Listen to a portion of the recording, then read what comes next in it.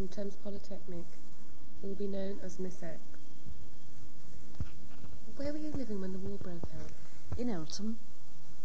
Um, we understand that you were evacuated. Would you mind telling us a bit about that? Yes, I was only two and a half at the time, and my father had gone to Dunkirk, and his own family originally did come from Norfolk, and so he insisted that Mum and myself my two sisters went down to his family. After Dunkirk, there was a, a big lull in the war, and so we all, Mum brought us three back. My older sister, then being, she's seven years older than me, then being nine, she was at school, and the war broke up out furiously suddenly. And on she rushed to school amongst the bombs dropping, picked my sister up. My sister Kathy and I were too young to go to school, and she grabbed one suitcase and she put a few of each of our clothes in it and said, Right, we're off. We promised Dad we would go to safety. So we marched down the road, Mum with us two toddlers, well, I was two, my sister was four, and this suitcase, to hoping to find a train that would take us to Liverpool Street. The lorry driver stopped and said, Are you in trouble, lady? Because there was lots of bombs dropping all the way around. And he gave us a lift to Liverpool Street. We arrived at Norfolk in the early hours of the morning in very deep snow. An uncle met us with a bike, and it had a, a wicker basket on the front and a carrier, and I was put on the carrier, my sister in the wicker basket, my older sister walked, and that was five miles to my grandma's house in the middle of the night. Um, do you want me to go on, or do you want to ask different questions? Realised then we were going to be there for the duration of the war, but the thing was, in the war, no one ever thought it was going to be five years. It was always going to be a few weeks. So after a few weeks, living at my grandma's, um, we had a telegram from Eltham, the council, to say that our house had been bombed. It didn't have a direct hit. It was next door but one. It was a landmine, but our house was gutted and was unsafe to come back to any rate.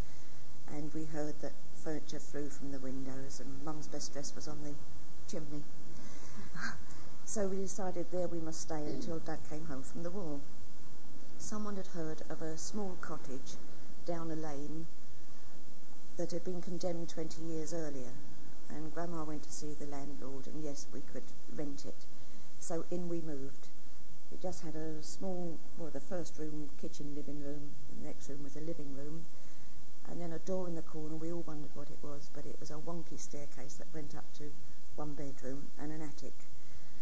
So an uncle from London sent an open truck lorry down with the few things that we had saved, or they had saved for us from the bombing. And Mum, Kathy, and I all slept in one bed, and my older sister slept in a small bed at the side. And there we stayed for the five years. The cottage didn't have any facilities. It had a loo at the end of a 200 foot garden, which was a bucket with a wooden thing over it. I don't know if you've experienced them in the country. So at night, everyone had to go to the loo before they went to bed. So we went down like Nelly the elephant. Mum first, me hanging on her pinny, my sister onto me, and my older sister onto that. And we, I mean, it was ritual. We all went to the loo, and we all came back. If anyone wanted one, wanted to pay a penny in the middle of the night, I'm afraid it was a bucket because no one was going to go 200 miles down. Our water was drawn from a, a well just outside the cottage door, and in the winter we had this hairy bit of string.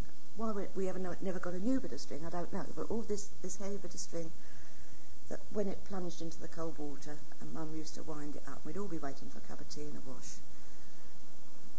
The string used to knot very, very tightly, and we all try in turn to undo this damn knot, which would never undo because all this hairy string made it lock. Once we got the water, of course, the first thing was a cup of tea in a tin kettle on a hob on an open fire, which Mum had then had to light. And then the wash, um, which was always in a one of those white bowls with the blue, the navy blue line around the outside on the living room table, and everyone had a wash like that. But Friday nights was bath night, um, and then we put all the saucepans on as well. Obviously, we had to all share water. We booked all the evening to do enough saucepans to fill this sink bath. But as I say, we managed like this for five years, and then um, all of us went to school. It was about two miles away. Obviously, we walked everywhere. The snow in Norfolk, being a flat county, drifted a lot. So you used to hope you could just see the top of the hedge to find your way to school because the snow was so deep. And most of the time it was all right, but if you did waver a little bit, you went into a drift. And I'll always remember the snow down the boots, and then it made a very sore mark where the snow had got down your boots, and you all day long you sat like it. The children didn't accept us at first. We spoke with a London accent, And we were laughed at in the playground at first, and we were called Cockney Callants. Um, someone had the cheek to say we were refugees rather than evacuees anyway, which didn't go down very well. Um, my elder sister at the time then had to, still by law, although things were so bad in London, still take, it wasn't called the 11 plus then, it's called the scholarship then, you know. Um, and she was elected to go to Eltham Hill School, which in those days was a, a grammar school in, you know, the school in Eltham. But that had evacuated to Wales. And Mum had promised Dad, whatever happened in the war, he was to take care of himself and she would take care of us three, and we would stick together through thick and thin. So they elected that um, my older sister should go to a school at North Walsham, which was five miles away, and a school bus did come every day and pick her up. It was the school that Nelson went to, and they wore the same shape hat as Nelson. And I remember, the thing I always remember going with Mum to get the uniform, I remember it clearly. Um, the headmistress insisted on uniform, which you couldn't get because the coupons any rate, but she did insist on black shoes lace up. But everyone had to have house shoes, which was such an extravagance in those days. Um, and I do remember Mum being so proud when Nell got her school uniform, and we all stood at the bus stop to see her off, and a dog called Scamp came and jumped up and made mud all over this new uniform. um, but Kathy and I stayed at the junior school there, and I thoroughly enjoyed it, except things like I thought we were picked on. And we used to have a, a small bottle of milk which she'd warm, the teacher would warm round a coal fire, and it always caused the skin. And I hated the skin, so I used to flick it off with my finger, and I got caught. And so I was given a good smack. So my sister, who's always protected me anyway, the sister, two years older than me, please don't hit my sister if you're going to hit anyone, hit me, to the teacher. But um, food was short, of course. We were allowed um, one egg per week per person. Mum never had her egg because we always had Yorkshire pudding on Sundays. Um, but we always had one egg a week, and the sweet ration, of course. And then we used to get um, licorice all sorts, and always cut them into four to make them last longer. Um, I think my worst memory of school was suddenly someone would say, the van's arrived, and we all knew what the van was. It was a van with a dentist in. And then you all sat in your classroom waiting for your name to be called. And to this day I will remember drawing a cup and saucer and making a blue line around the rim of this cup and saucer when they said, I, I mustn't say. Will you go to the dentist van? And I remember being so frightened, and there was a caravan and a dentist chair, and he immediately pulled, pulled four teeth out without asking anybody. And I, all the time I was in Norfolk, my only dread was that he would ever, ever come back. Do you want me to go on? Or? Mm. Did you ever manage to get letters from your father or news from your father from the front? Yes, quite regularly. I don't know if you remember the men used to write the letters on a size, perhaps A4 paper, but by the time it got to us, it was reduced to about a third of the size.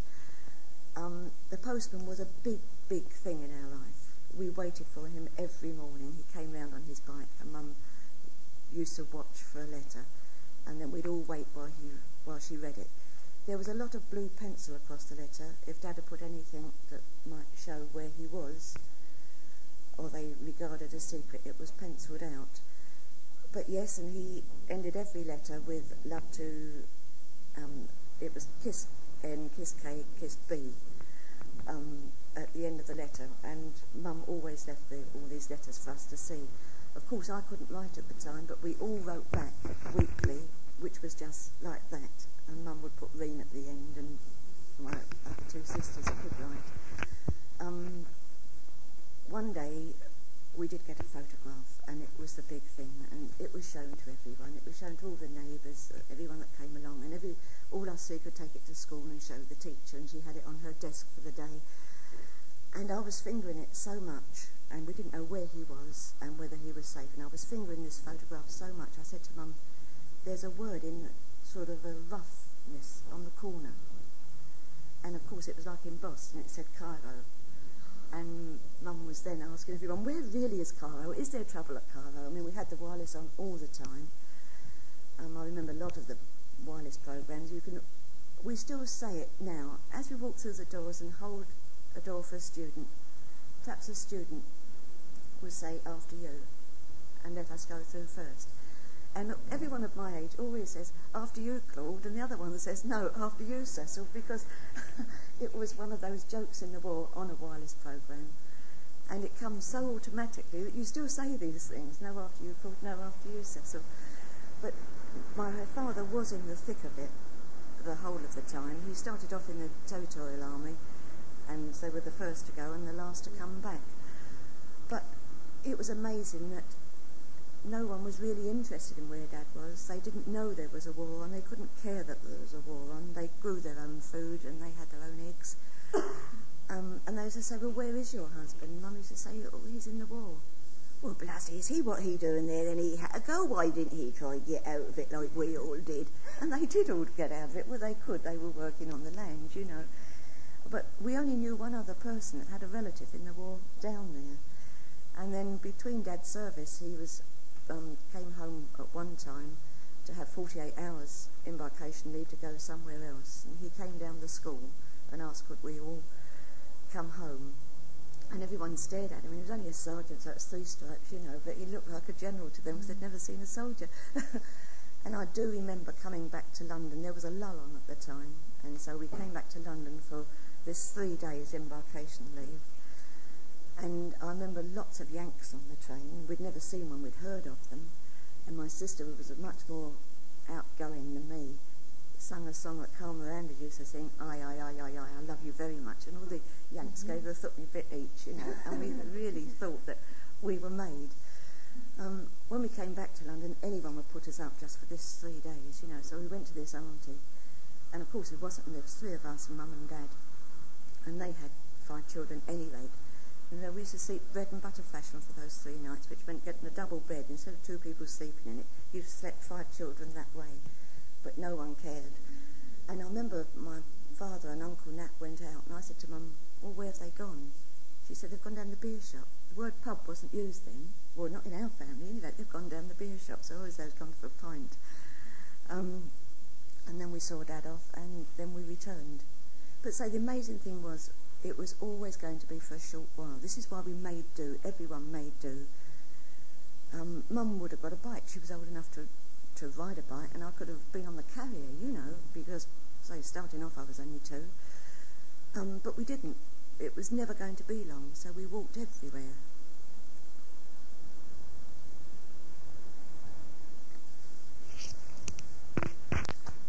Uh, just to sum up, could you tell us basically are your memories happy or sad of that time spent in Norfolk?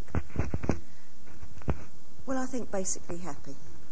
Looking back, I realise how hard it must have been for Mum. I mean, when my husband goes out of an evening now and I, I'm left alone, I think, oh, you know, there's not much fun in this. How people did it for five years, looking after three youngsters and taking the total responsibility, I don't know. Um, no, we didn't want to come back as soon as Dad was demobbed, he said, right, we'll come back to London. As you know, we were bombed out any rate. So they said, well, yes, we can find you a house on a council estate, just the other, in Lee, actually, rather than being in Eltham, until your house is rebuilt. So we all trundled along to Middle Park School, and by this time we had picked up a little bit of an accent.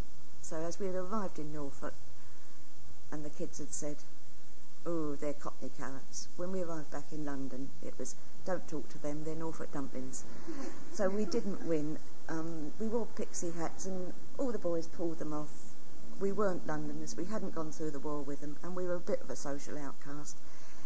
And we said to Mum, oh, please let us go back to Norfolk. And she said, I'd do anything to, I would do anything to go back to the peace and quiet.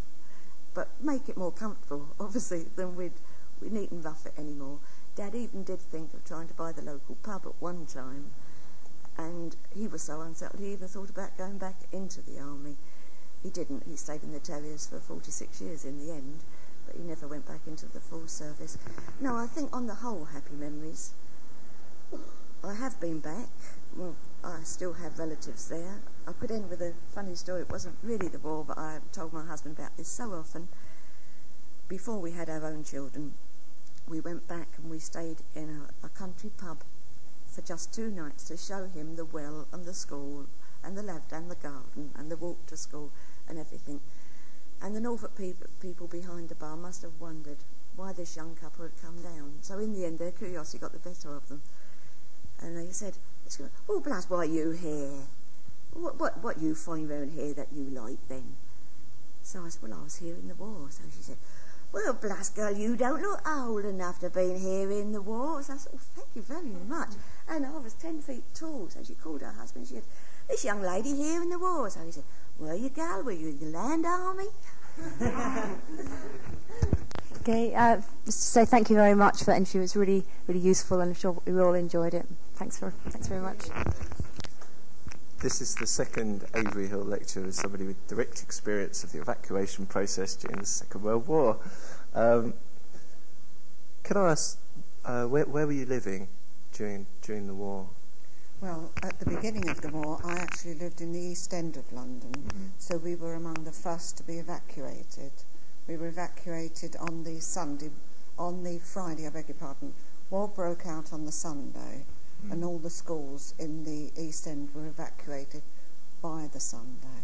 So it was, it was a very quick process then? Well, it depends what you call quick. Um, we were actually taken to the station every day with all your cases. You went to school, mm-hmm and um, for quite a few days you came home with all your stuff. And on the Friday we actually got away. Trains were available by the Friday. Mm. Your mum was quite fed up with you keep coming home. You know, you kept saying goodbye and you kept coming home.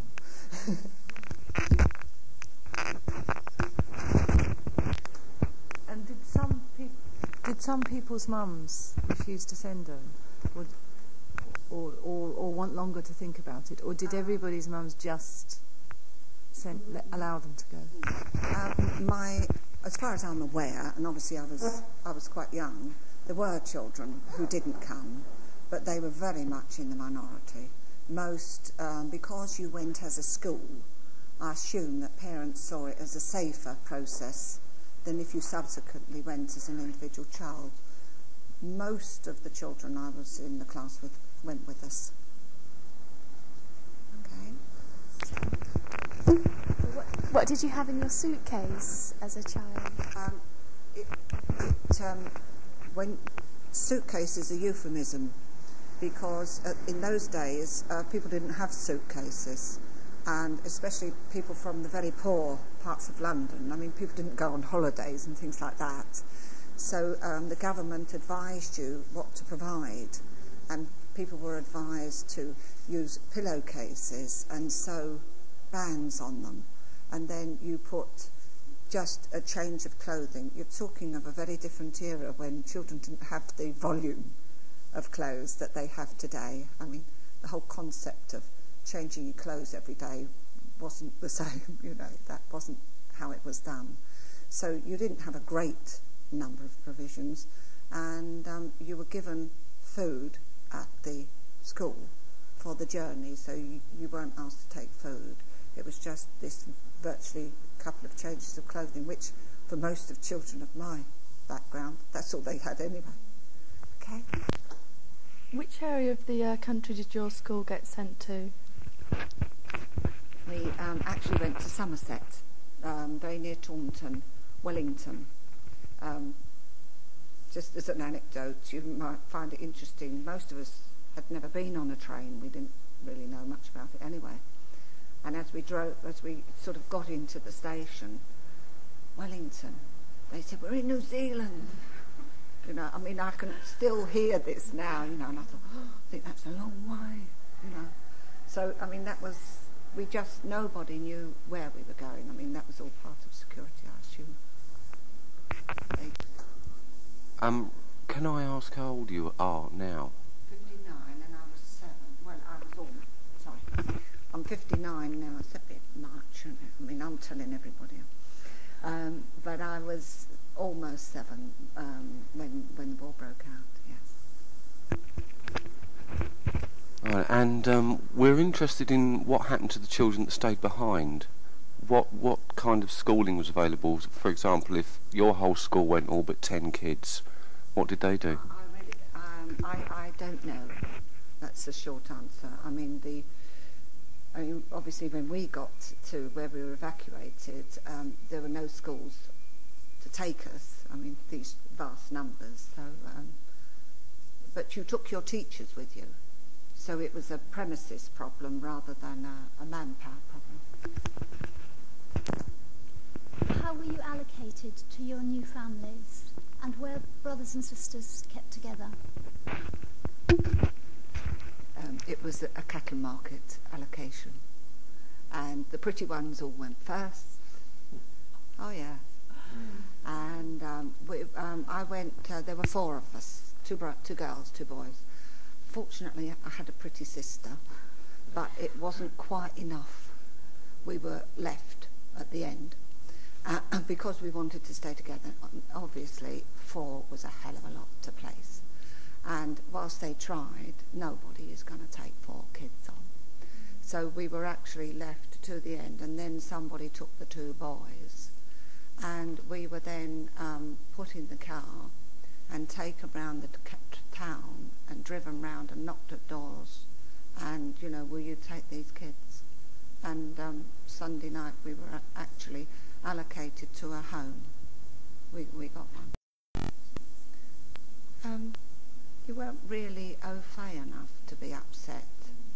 And because the whole world was everything, one's whole world was so traumatic and it was just another, you didn't really think about it. And you had a big bag of food. You know, what more do you want? Yeah, true. Uh, did you keep in touch with your family? And how did you keep in touch with your family? I was, um, as I said, the whole school went. Um, um, I was at a Catholic school with very strong family. You know, the ethos of it all is um, all there. So the teachers took it upon themselves to make sure that we all communicated with our families, and they helped people who couldn't. Fortunately, I could write, and so uh, yes, I did, and. Um, we were very fortunate in that respect, but obviously there were children who never ever saw their parents again. Quite a few. Can I just ask, were you were you made to feel welcome in your new family environment, or were you were you made to feel a bit of a burden? Was it an overall happy experience or not? It's a bit hard to um, say that. The house I went to was economically far superior to the one I had come from. I mean, it was just sheer luxury. I came from a big family in the East End of London, went to this very middle class family. The only thing was there were no other children there, and I found that rather hard. But no, my experience was a very pleasant one, a very overall, overall. Um, the only difficulty um, after after um, I'm talking initially 39 then there was the horrendous raids on London and um, in late 40 my mother decided to move down with us my father was then in the forces so she, um, I had elder brothers at work initially but they had gone into the forces so she then decided to move down and there was terrific resentment because I wanted to go and see my mum. It's all perfectly understandable. We went to a family with no children, and then they didn't want you to go back to your own mum. Yeah, it's perfectly understandable, isn't it? Yeah. So that's where the problem arose. So where did your own mum live? I mean, did, then did you go and li- stay with her? um, she was allocated a, a, a small house that had been requisitioned in the town, but no, we didn't go to live with her. Sufficient pressure was put because they were much more upmarket people that we went to live with and they wanted us. Oh, she must have been so lonely. Well, not really, because there's ways around everything. You know, when you come out of school, where'd you go? Yeah. Yeah. So there's always ways around. So you went to see her every day? Every day, yeah. You couldn't live Oh, no, no, no, you couldn't live there. Did that happen to a lot of um, that their parents were, were able to move somewhere near, or their mothers were able to move somewhere nearby? Not a lot of people. Um, it, it would depend. I mean, one has to accept that there are an awful lot of people that thought it quite useful to get shot the kids. it, you know, it, and you see women then. You've got to think of this in the context of women's role. Before the war, they were totally housebound, totally subservient to the husband's needs and the kids' needs. All of a sudden, they became people. They earned money. They got, and they quite liked it. I probably would have done the same. Certainly not criticising them. But um, my mother was the type that wanted to come down, but an awful lot didn't. You know, and a lot couldn't. They were in munitions. A lot of women were drafted into the munitions factories, so they couldn't have come. But my mother was older. I'm one of the younger children, so she was um, past the, that age at that time. Um, see, we, we were under the impression that um, the government would have to do a, a lot of persuading with parents to, to give up their children and get them to go to the countryside. I mean, did, did the government have to do that? What about Hitler's persuasion of bombing you to? Well, sure, yeah, It's a balance. yeah. So that, that was the You know, main main thing right. that, that convinced. And I, well, I think a big element was the gas in the First World Mm. War. Everybody was afraid of gas. Oh, right, yeah. It wasn't really the bombing because you didn't really know what bombing entailed, but we Mhm. all knew what gas. Everybody knew what gas was, Mm. and everybody was terrified, as as in the Gulf Mm. War. Yeah. No different, is it? You can avoid a bomb, but you can't avoid gas, can you? You can dig a shelter. So I think Yeah. that was the biggest. I, I that's my opinion. I don't Yeah. know whether it's so. No, sure. You, you were saying earlier that it was a bit of a, a cattle market, the way, the way the kids were just Mm. um, shoved out into the countryside. So there was there was no actual vetting of families that you went went to. It was, I wouldn't have thought it possible to vet. Mm. uh, if you if you went to a village, a t- small town, it wasn't a village, a small town, and all of a sudden you need 300 homes. Mm. How on earth can you vet? Yeah, You've got to have a roof. yeah. You know, Ultim- there were people called billeting officers hmm that were um, theoretically supposed to then supervise, and if they saw unsuitable situations, then try and move. Mm. But at the initial stage, you simply have to find them a home, and one can identify with that. I mean, just got to get the kids in. haven't you? Mm. Sure. Was there much preparation for the evacuation process? You said that you went during the first week of the war, but had it been talked about for some time before that, that if war should break out, the children would all go? I don't know that I can really answer that. I can only say what was told us at school. You know, we were told all what was going on, and my own family were, were very news orientated, so I probably knew a bit more, possibly, than the, it, it had been on the morgue. We spent our whole time listening to the radio because uh, there were all, as you know, all these peace moves and Chamberlain going backwards and forwards. And but the school, in fact, did alert the families that if war came, that the children would have to be moved out. But one always has um, an optimism that it won't come to this. It's so bizarre, isn't it? Uh, it's hard to. But we, as a family, did prepare and did sort of think about what had to be done and who would go and who, because we didn't all go. You know, it was just the, the younger children. And then there was a baby. She didn't go, she stayed at home. My mother didn't let her go. Well, I'd just like to say thanks very much for all your help. It's been great. Yeah. Thanks.